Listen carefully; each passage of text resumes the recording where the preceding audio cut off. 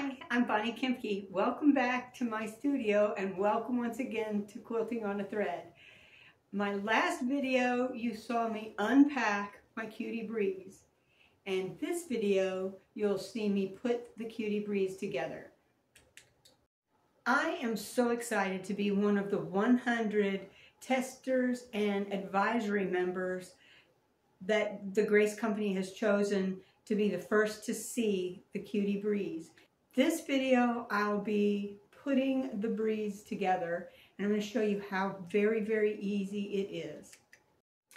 Now, I advise you before you start to put your breeze together and put your cutie breeze on a table that you verify with a level that your table is level.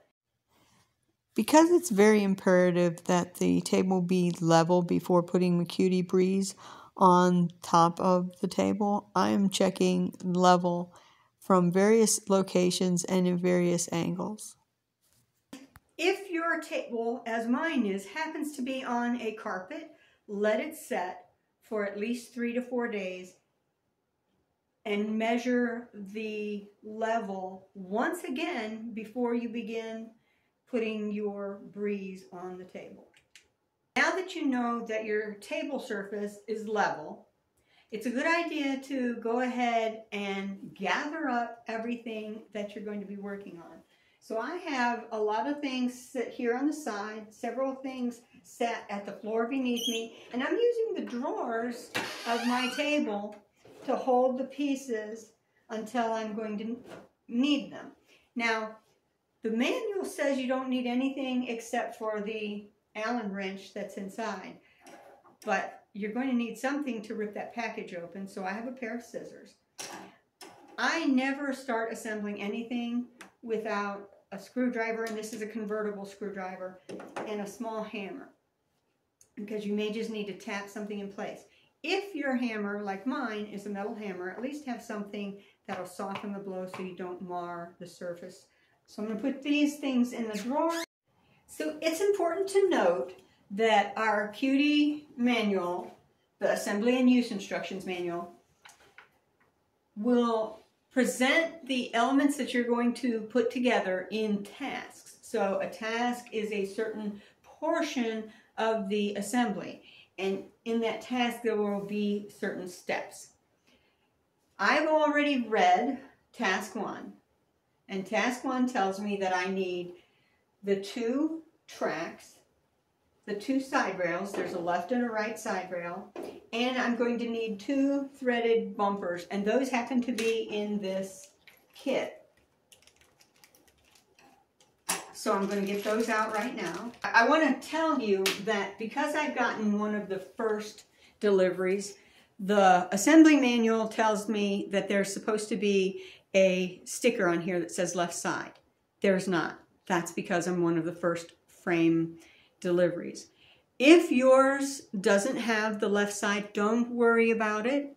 That sticker is unnecessary. All you need to know is that there's a hole here, and that hole is where the threaded rubber bumper will go. So put these up on your table, oriented left side.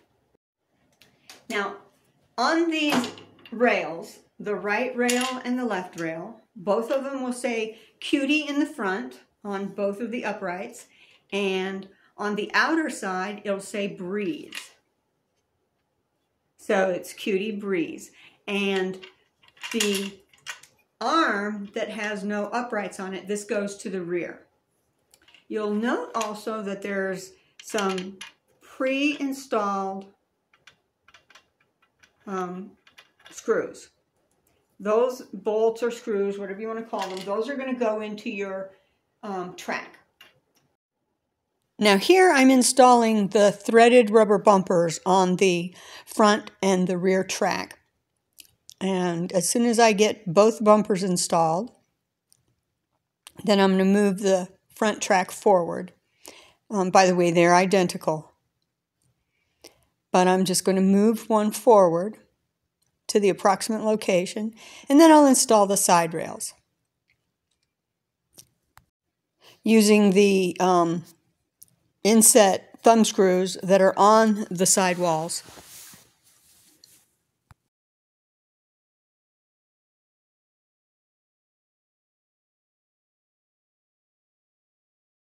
Now you only want these finger tight, and so I'll move that into place and I'll um, go ahead and attach the second one.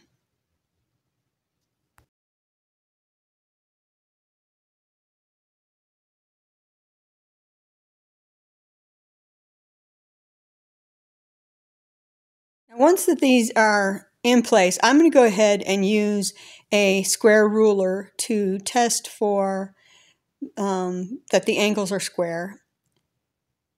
And then I go ahead and check for level because you can get these attached to where they're not level.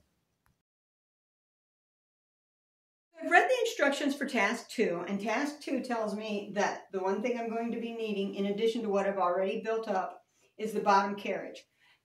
Essentially, what task two is doing is going to verify that the track and frame are square. In addition to that, I've seen these deliver out of square. So once I put it on the frame, I'm going to be checking for square with my square ruler. It's just a safety um, step on my part. So now I put the carriage on the tracks and check for square. The whole purpose of this step, I mean this whole task, is to make sure that your track are parallel and that it's square. And you'll know this by the fact that the carriage moves very freely along the track. Um, now that you have it tight, um, square, you go ahead and tighten it up.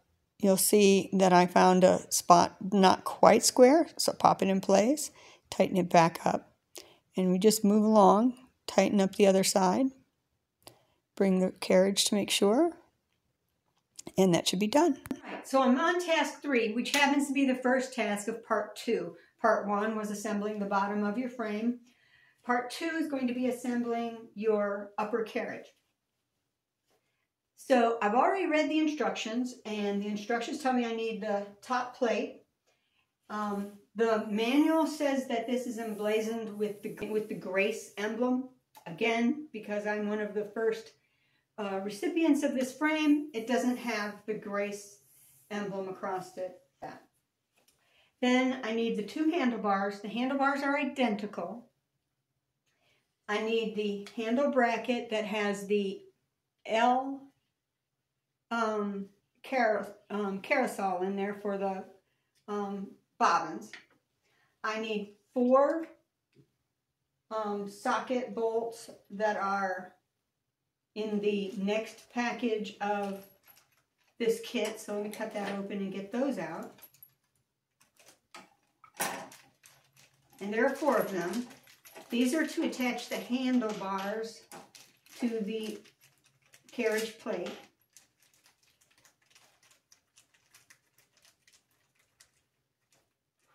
I'm also going to need for the for the handle bracket, I'm going to need the next two screws. So I'll take those out. And I'm just going to put them in the carrel. And I'm going to need the two nuts that go with those screws.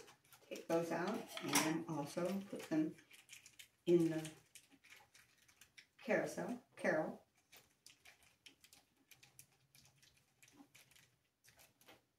And the other thing I need is the Allen wrench, which is down here at the bottom. So I'll go ahead and cut the Allen wrench out. And I'll just lay that here in the corner. So now I'm putting the first of the two handlebars into the bottom plate. And it's a little tricky to hold the handlebar still while getting the screw into the holes that you've made sure to align. But it can be done.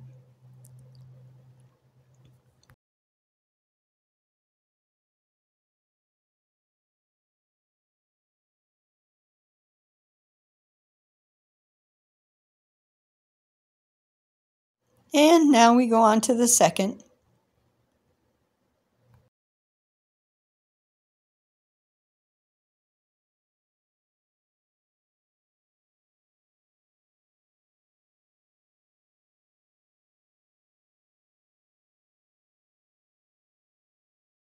Now that we've gotten the two handlebars on, we'll go ahead and get the handle bracket on. And the bracket is pretty easy to install, but there's a trick. You line these holes up and you get the screws in place, but the little nuts have to fit into a tiny little pocket. Be sure to pay attention to your manual and you'll see that you have to slide it into that little pocket and it helps if you get the screw in a good bit before you try to put the um, nut on. And I'm using a screwdriver to hold the nut in place while I get it started. And I'll repeat that for the other side.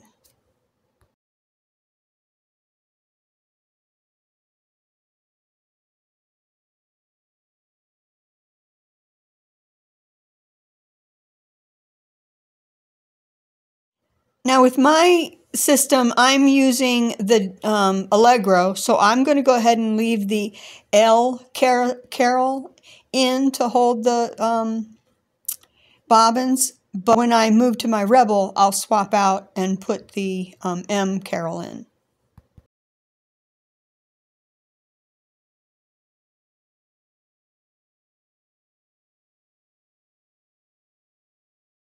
Well, I've read task four, and task four tells me I need everything that I've put together so far, my sewing machine, which is over here on the floor, and these four clips. They look like this. They have a little blue um, bumper on them, and you want to go ahead and open up that um, clip because what that clip does is there's a little ratchet. When it clips down, that pulls the ratchet up. When you clip is up, that lets the ratchet loose. So I'm just going to dump all four of those out. And this is essentially just getting your sewing machine situated and seated on the flat plate. Now, it's a different set of steps if you're using a wheeled system. So now I'm putting the clamps in that are meant to hold the machine. And then we put the machine on. Now this is a little tricky because the machine is heavy and the bottom plate wants to move. Now I'm using an Allegro, which is a little bit wide for those clamps. If your machine is heavy enough, the clamps are not necessary, but I like them in place just to snug the machine. Well, I'm getting closer to finished. I had to lower my um, husky table because I needed to create a comfortable position for my arms. I still need to be able to see the needle. So I can just barely see the needle. And I've got a good comfortable position with my arms. This is higher than I expected it to be as far as the um, frame sitting goes. So now we're on step Mean, task five. And I've read the documentation for task five. And what the documentation tells me is I need the two um, rail holders and, of course, the Allen wrench. So I'm ready to work on that. Now, one of the things I have to keep in mind is I have to make sure that I set the rails appropriately for this machine. This is the Allegro, and the Allegro is 12 inches, so I have to set for 14 inches or less. The rails came to me and it looks like they are set for a 19 inch, which would have been great if I was putting my treble on this, my um, Q'nique 19, but I'm starting out with Aristotle, my Allegro, and when she gets here, I'll be putting Scarlet, my Rebel, on here. So now I'm just readjusting these from the 19 inch setting to the 12 or less setting and that's pretty straightforward, not much to do. Just loosen these and put them in the right holes. Make sure that when you look at the manual that you orient the holes um, in the manner that the manner that the manual is showing you.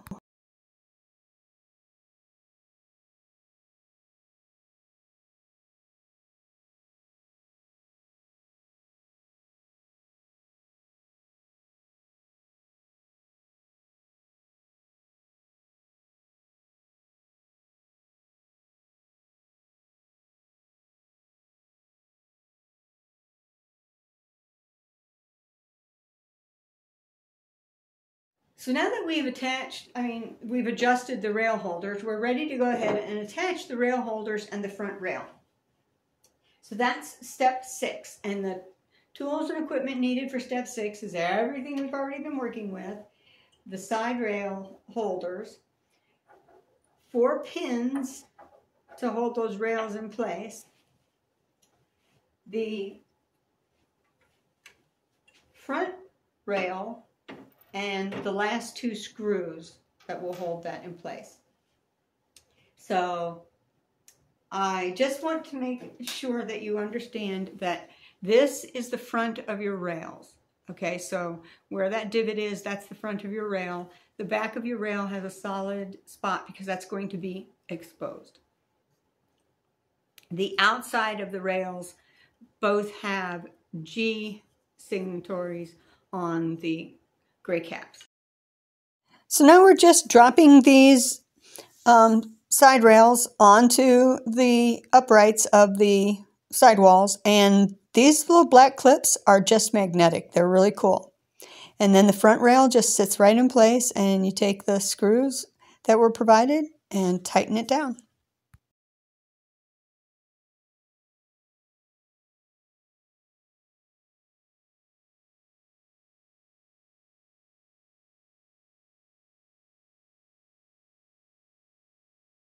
I've already read the manual, and again, the parts that we need are everything that's already been put together plus the take-up rail.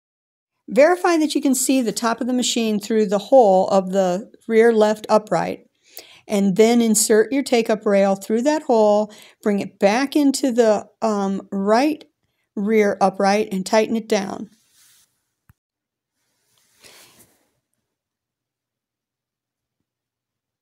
You then want to verify that there's not too much space. I used a coaster, but you just want a tad of space between the take-up rail and the bed of your machine. I did not have the carriage stop clip install I mean in my package. But that's not a showstopper. I have a workaround. So what I've done is used a um, baby lock, channel lock. Um, so what I did, and I'm just going to show you here on the front clip because I think you can see it. So what I did is I came up underneath this with the channel lock, and I'm moving my machine around a lot, but I came up underneath this with the channel lock and came along that way. So now I can move, but I have a channel lock. So I put it at the back over on the um, left side.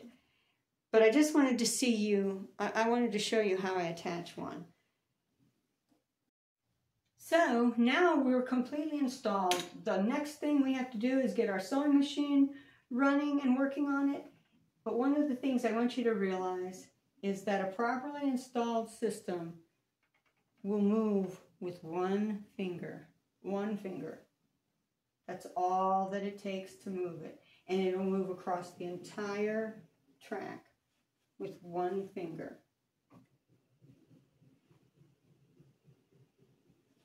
If it takes more than one, you know, takes more than the pressure of one finger, you have something seriously out of balance and you need to readjust and find that. So now that you've seen the whole thing put together, I hope that that helps you in your journey with your new Cutie Breeze. I can't wait to get started. Um, I want to get a quilt on this as soon as possible. So thank you for joining me here on Quilting on a Thread. Hope to see you soon. Bye-bye.